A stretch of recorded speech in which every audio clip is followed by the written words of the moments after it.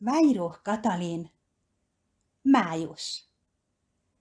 A május, madárdal, virágillat, halsogó zöld fűben, aranypitypang, éneklő csalogány, gólyakelep, nyújtózó ágakon zöld levelek, zümmögő bogárkák, lepkék tánca, fürtjeit kínáló dús orgona, tóparti békáknak esti dala, madarak bölcsőjét szél ringatja.